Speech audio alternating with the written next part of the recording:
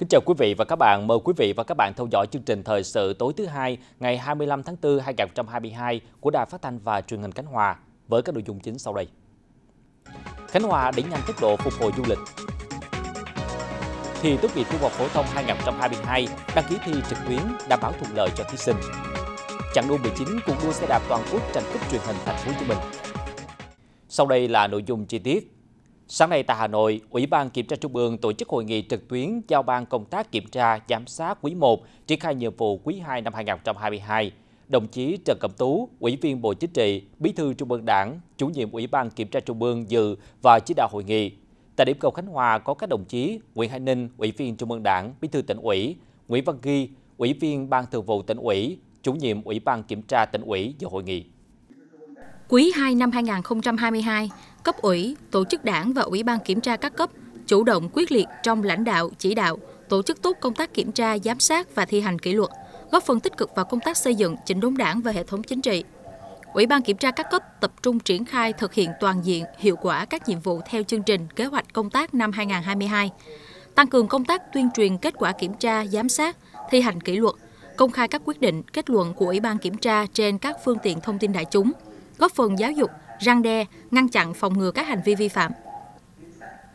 Hội nghị đã thảo luận, đề xuất nhiều vấn đề nhằm triển khai tốt công tác kiểm tra, giám sát và thi hành kỷ luật của đảng trong thời gian tới. Đồng chí Nguyễn Hải Ninh cho biết, thời gian qua, tỉnh đã tăng cường lãnh đạo, chỉ đạo, thực hiện khắc phục những nội dung theo thông báo kết luận số 680 của Ủy ban Kiểm tra Trung ương, xây dựng và chủ động thực hiện toàn diện chương trình kiểm tra, giám sát của cấp ủy và Ủy ban Kiểm tra các cấp, trong đó nội dung kiểm tra dần mở rộng, có trọng điểm, tập trung vào các lĩnh vực nhạy cảm, xử lý nghiêm minh các sai phạm. Đồng chí đã kiến nghị Ủy ban Kiểm tra Trung ương một số vấn đề nhằm tháo gỡ khó khăn, triển khai tốt công tác kiểm tra, giám sát và thi hành kỷ luật của đảng trên địa bàn tỉnh trong thời gian tới. Sáng nay, ông Nguyễn Hải Ninh, Ủy viên Trung ương Đảng, Bí thư tỉnh ủy đã chủ trì buổi tiếp đoàn Tổng lãnh sự quán Hoa Kỳ tại thành phố Hồ Chí Minh do bà Marie Dalmore, Tổng lãnh sự làm trưởng đoàn đến chào xã giao và làm việc với lãnh đạo tỉnh. Tại buổi tiếp, Bí thư tỉnh ủy Nguyễn Hải Ninh đã thông tin sơ lược về những tiềm năng thế mạnh của tỉnh. Theo đó, đến năm 2030, tỉnh phấn đấu trở thành đô thị trực thuộc trung ương như du lịch, cảng biển, công nghiệp công nghệ cao, không gây ô nhiễm môi trường. Đến năm 2045 sẽ là địa phương đi đầu trong việc giảm phát thải nhà kính. Hiện tỉnh đang được chính phủ tập trung nguồn lực đầu tư xây dựng các tuyến cao tốc để kết nối tỉnh với khu vực. Dự kiến giai đoạn 2027-2030 sẽ được ưu tiên xây dựng tuyến đường sắt cao tốc Khánh Hòa Thành phố Hồ Chí Minh. Với những định hướng quan trọng đó, Bí thư tỉnh ủy mong muốn Tổng lãnh sự sẽ tiếp tục quan tâm tạo điều kiện thuận lợi đối với công tác triển khai các hoạt động đối ngoại, hợp tác đầu tư giữa tỉnh với các doanh nghiệp ở Hoa Kỳ ở các lĩnh vực như công nghiệp sạch, logistics, cảng biển, thủy sản ứng dụng công nghệ cao, năng lượng tái tạo, đồng thời hỗ trợ quảng bá để ngày càng có nhiều người dân Hoa Kỳ đến tham quan du lịch tại Khánh Hòa. Hiện trên địa bàn tỉnh đang có 6 doanh nghiệp Hoa Kỳ hoạt động. Các doanh nghiệp khác cũng đang mong muốn đa dạng hóa các lĩnh vực đầu tư, nhất là mô hình hoạt động ở lĩnh vực thủy sản công nghệ cao. Tổng lãnh sự Hoa Kỳ tại thành phố Hồ Chí Minh hy vọng đây sẽ là thế mạnh để nhiều doanh nghiệp ở Hoa Kỳ lựa chọn Khánh Hòa là nơi đầu tư trong tương lai. Cũng trong sáng nay, ông Nguyễn Tấn Tuân, Phó Bí thư tỉnh ủy, Chủ tịch Ủy ban nhân dân tỉnh Khánh Hòa đã tiếp bà Marie Delmore, Tổng lãnh sự Hoa Kỳ tại thành phố Hồ Chí Minh. Tại buổi tiếp, ông Nguyễn Tấn Tuân bày tỏ vui mừng được đón tiếp bà Marie Sidamore, bày tỏ mong muốn trong thời gian tới, đại sứ quan tâm hỗ trợ giới thiệu các chương trình học bổng, chương trình đào tạo, giảng dạy tiếng Anh cho các trường trung học, đại học và cán bộ công chức viên chức ngoại giao trên địa bàn tỉnh Khánh Hòa,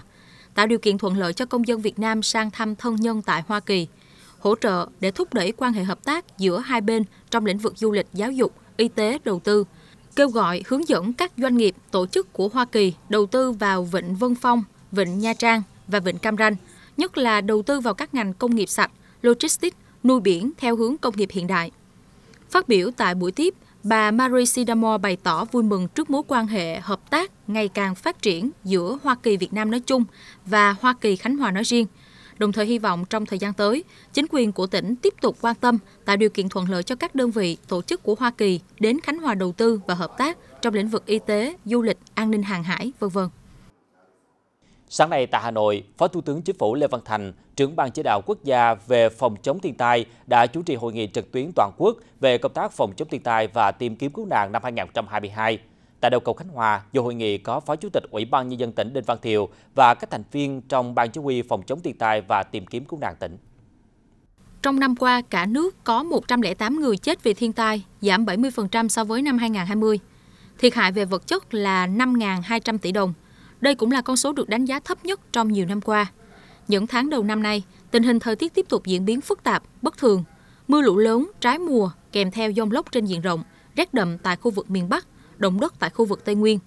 Theo dự báo, năm 2022, khả năng xuất hiện bão mạnh, mưa lớn trái với quy luật. Tổng thiệt hại do thiên tai gây ra khoảng 2.400 tỷ đồng, gần bằng 50% tổng thiệt hại của năm 2021. Trước tình hình đó, Chính phủ và Ban chỉ đạo quốc gia về phòng chống thiên tai đề nghị các bộ ngành địa phương trong thời gian tới cần thực hiện nghiêm túc, hiệu quả các chỉ đạo, chỉ thị của chính phủ, xây dựng cơ chế huy động nguồn lực xã hội, đầu tư cho công tác phòng chống thiên tai và tìm kiếm cứu nạn. Đồng thời, cần chủ động phòng ngừa, ứng phó thiên tai, lồng ghép vào các dự án phát triển kinh tế xã hội, bố trí ngân sách phù hợp cho công tác phòng chống thiên tai và khắc phục hậu quả thiên tai. Ban chỉ đạo quốc gia về phòng chống thiên tai phối hợp với các bộ ngành trung ương xây dựng kịch bản và hoàn thiện phương án phòng chống thiên tai, ứng phó mưa bão, cứu hộ cứu nạn, điều tiết hồ chứa phù hợp với dự báo trong năm 2022, khắc phục những tồn tại hạn chế trong năm 2021, nâng cao năng lực cứu nạn cứu hộ của các lực lượng tại chỗ.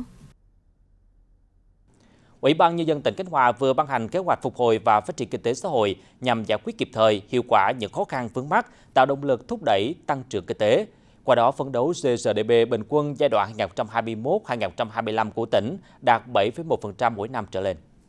Ủy ban Nhân dân tỉnh xác định sẽ mở cửa kinh tế gắn với đầu tư nâng cao năng lực y tế trong phòng chống dịch bệnh, đảm bảo an sinh xã hội và hỗ trợ việc làm cho người dân. Bên cạnh đó, tỉnh sẽ tạo điều kiện thuận lợi cho doanh nghiệp đổi mới công nghệ, ươm tạo công nghệ, thương mại hóa kết quả nghiên cứu khoa học và phát triển công nghệ, mua thiết bị, máy móc, nguyên vật liệu phục vụ trực tiếp hoạt động sản xuất kinh doanh của doanh nghiệp. Đặc biệt, Ủy ban nhân dân tỉnh xác định nhiệm vụ cụ thể cho từng ngành lĩnh vực thế mạnh trong khôi phục và phát triển kinh tế. Để đạt được mục tiêu tăng trưởng kinh tế cho giai đoạn từ năm 2021 đến năm 2025, bên cạnh những nhiệm vụ cơ bản, Ủy ban nhân dân tỉnh xác định thực hiện đồng bộ các giải pháp để thu hút nguồn vốn hợp pháp cho đầu tư xây dựng kết cấu hạ tầng trọng điểm. Giai đoạn từ năm 2021 đến năm 2025, phân đấu đạt các mục tiêu tăng trưởng GRDP đạt mức 7,1% trên năm, thu ngân sách hàng năm đạt và vượt dự toán ngân sách trung ương giao. Tổng huy động vốn đầu tư toàn xã hội đạt 354.000 tỷ đồng, tỷ lệ thất nghiệp của lao động trong độ tuổi ở khu vực thành thị năm 2025 dưới 3,8%.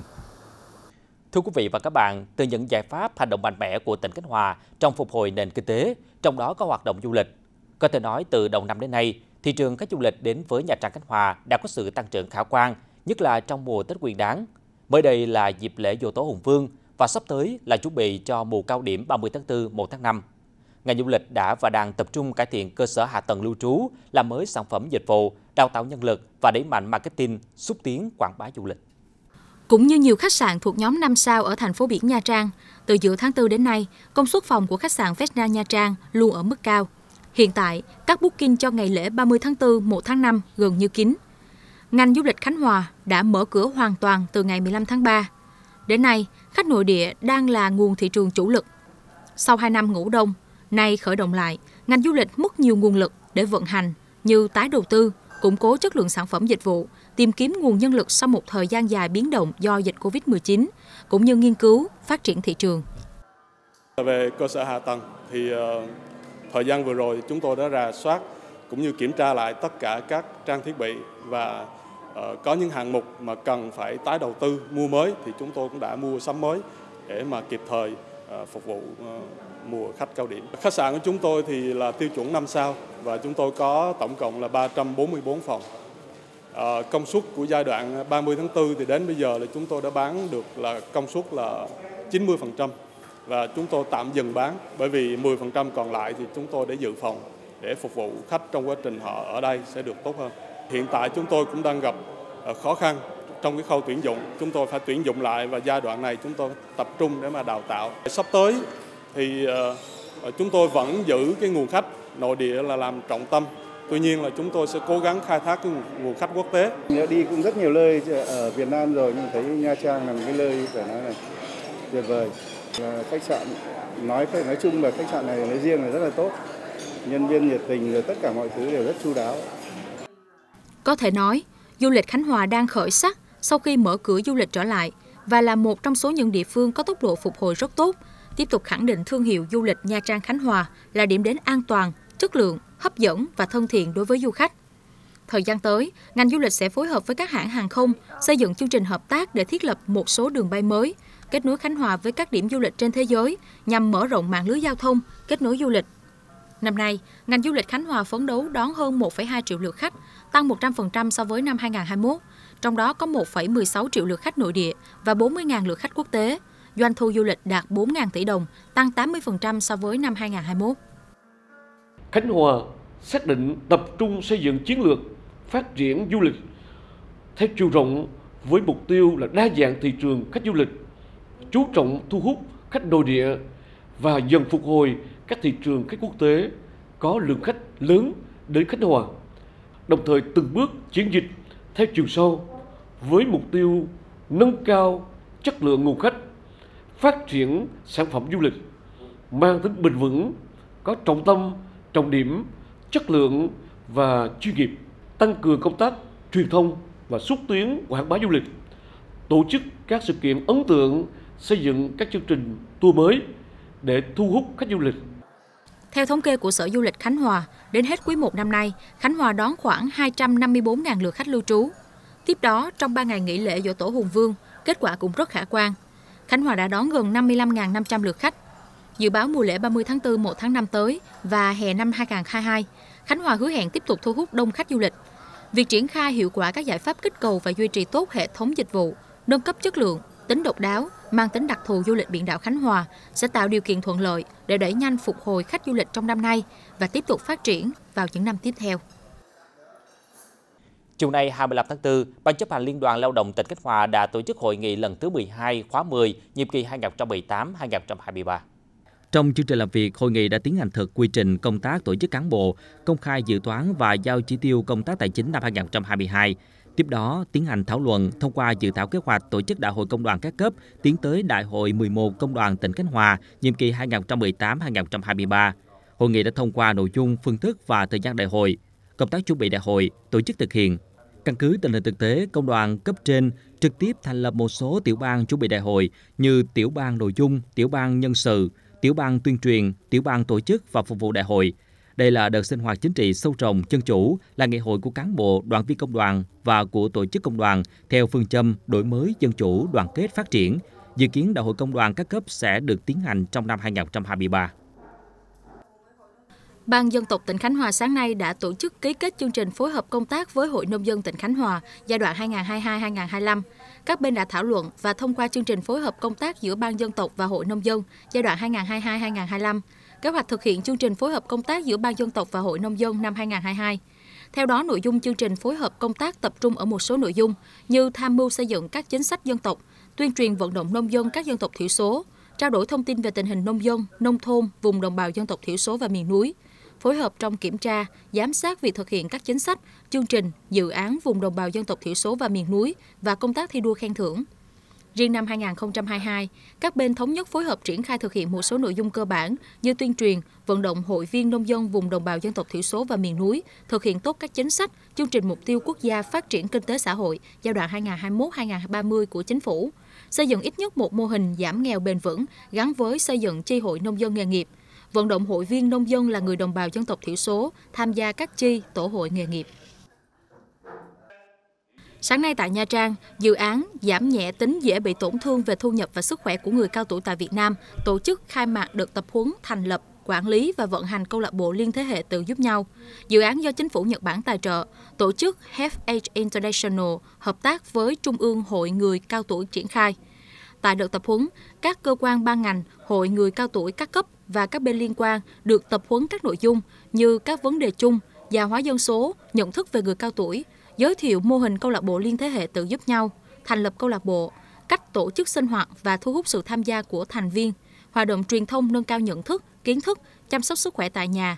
tổ chức và quản lý hoạt động tăng thu nhập. Đây là đợt tập huấn chuyên sâu về vấn đề già hóa dân số và người cao tuổi, tập huấn các nội dung về thành lập, quản lý, vận hành câu lạc bộ liên thế hệ tự giúp nhau nhằm nâng cao kiến thức, kỹ năng cho các cơ quan ban ngành, hội người cao tuổi các cấp và các bên liên quan để tiến tới thành lập và triển khai hoạt động các câu lạc bộ liên thế hệ tự giúp nhau mới theo kế hoạch dự án.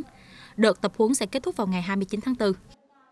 Ủy ban Nhân dân tỉnh Khánh Hòa vừa có chỉ thị yêu cầu Sở Giáo dục và Đào tạo chủ trì phối hợp với các sở ban ngành, đơn vị liên quan và các địa phương triển khai tổ chức tốt kỳ thi tốt nghiệp trung học phổ thông 2022 và tuyển sinh năm học 2022-2023 trên địa bàn tỉnh theo đúng hướng dẫn quy chế của Bộ Giáo dục và Đào tạo và chỉ đạo của Ủy ban Nhân dân tỉnh.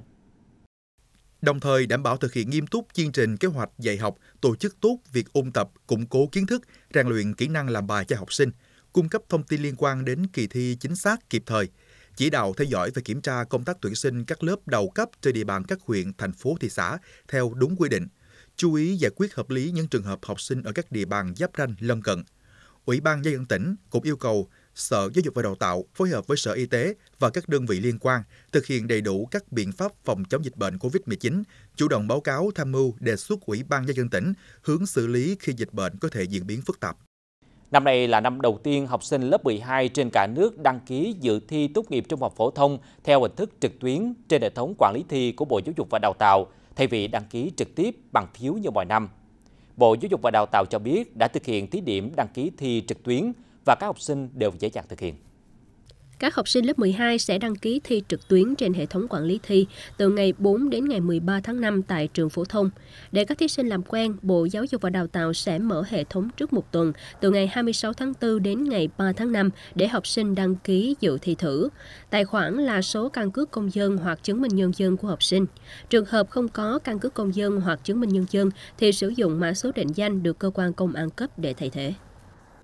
Sáng nay, trường đại học Nha Trang đã tổ chức lễ ký kết hợp tác với công ty Dudu IT Hàn Quốc triển khai dự án CoiCa IBS xây dựng nền tảng đào tạo an ninh mạng trực tuyến trực tiếp.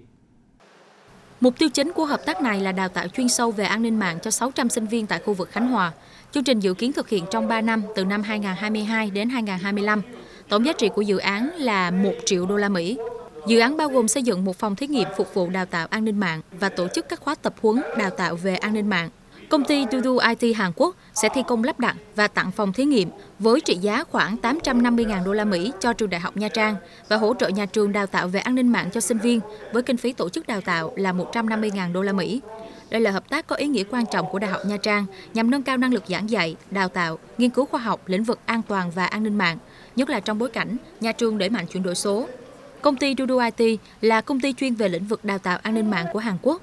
Trước đó, công ty đã triển khai hợp tác với trường Đại học Bách khoa Hà Nội, hỗ trợ đào tạo sinh viên về an ninh mạng.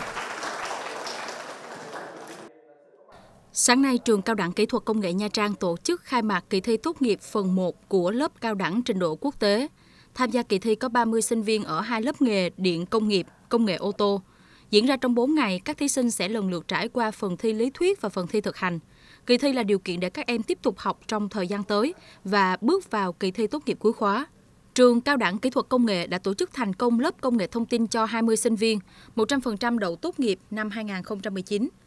Tính đến nay, trường đã tổ chức được 3 lớp cao đẳng trình độ quốc tế. Đây là chương trình liên kết đào tạo với Cộng hòa Liên bang Đức. Sinh viên ra trường được cấp hai bằng của Việt Nam và Cộng hòa Liên bang Đức. Sáng nay tại Nha Trang, cuộc đua xe đạp toàn quốc tranh cúp truyền hình thành phố Hồ Chí Minh non sông liền một giải, niềm tin chiến thắng lần thứ 34 2022 tiếp tục hành trình với chặng 19. Trước khi diễn ra chặng đua 19, ban tổ chức giải đã trao suất học bổng trị giá 30 triệu đồng cho các em học sinh có hoàn cảnh khó khăn trên địa bàn thành phố Nha Trang, đồng thời trao giải chặng 18. Theo đó, tay đua thắng Spring là Đặng Thành Được thuộc đội Kenda Đồng Nai. Tay đua thắng đỉnh đèo cả là Phan Hoàng Thái, đội dược Domesco Đồng Tháp. Tay đua thắng chặng 18 là Hà Văn Sương, đội quân khu 7. Tay đua mặc áo trắng sau 18 chặng, Nguyễn Văn Bình, đội thành phố Hồ Chí Minh New Group Giành áo đỏ là tay đua Igor Florov, đội thành phố Hồ Chí Minh Vinama. Áo xanh thuộc về tay đua Nguyễn Tấn Hoài, tập đoàn Lộc Trời An Giang. Và tay đua Igor Frolov, đội thành phố Hồ Chí Minh Vinama tiếp tục giữ áo vàng sau 18 chặng. Ngay sau lễ trao giải, các coureur tiếp tục tham gia đua chặng 19, đua đồng đội tính giờ. Chặng này, các coureur sẽ đua hai vòng, điểm xuất phát trước khách sạn Horizon trên đường Phạm Văn Đồng đến ngã ba Lương Sơn và ngược lại với tổng chiều dài là 32 km. Ngày mai các đội đua sẽ nghỉ ngơi để ngày 27 tháng 4 bước vào chặng đua 20 từ thành phố Nha Trang đi thành phố Đà Lạt, tỉnh Lâm Đồng với chiều dài 136 km. Chương trình thời sự tối nay của Đài Phát thanh và Truyền hình Cánh Hòa đến đây là hết. Cảm ơn quý vị và các bạn đã quan tâm theo dõi. Xin kính chào tạm biệt.